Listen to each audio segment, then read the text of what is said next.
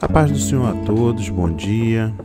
Estamos iniciando mais um Café da Manhã com Deus. Hoje, 10 de outubro, o projeto A Marca da Promessa traz o devocional do dia 9 para a leitura. Em Mateus capítulo 15, versículos 8 e 9, a palavra diz: O seu coração está longe de mim e em vão me adoram. Amém e graças a Deus. Adoração diária. Este é o tema do devocional desta manhã. É a minha experiência que a totalidade de nossa vida cristã, todas as nossas atitudes, devem ser direcionadas para adoração a Deus.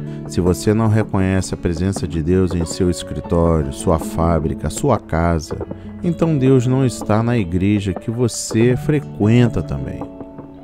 Tornei-me cristão quando era jovem e trabalhava em uma fábrica de pneus em Akron, Ohio, nos Estados Unidos.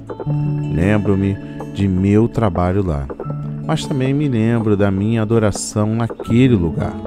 Houve muitas lágrimas de adoração em meus olhos. Ninguém me perguntou sobre elas, mas eu não teria hesitado em explicá-las. Pode-se aprender a usar certas habilidades até o ponto de se tornarem automáticas. Tornei-me tão habilidoso que podia fazer meu trabalho e adorar a Deus mesmo quando minhas mãos estavam ocupadas.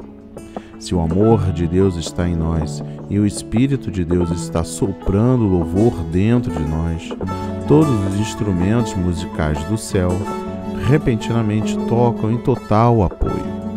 Até mesmo em nossos pensamentos se torna um santuário em que Deus pode habitar.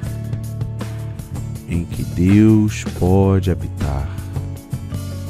Vamos agradecer ao Senhor por esta mensagem edificante para nossas vidas.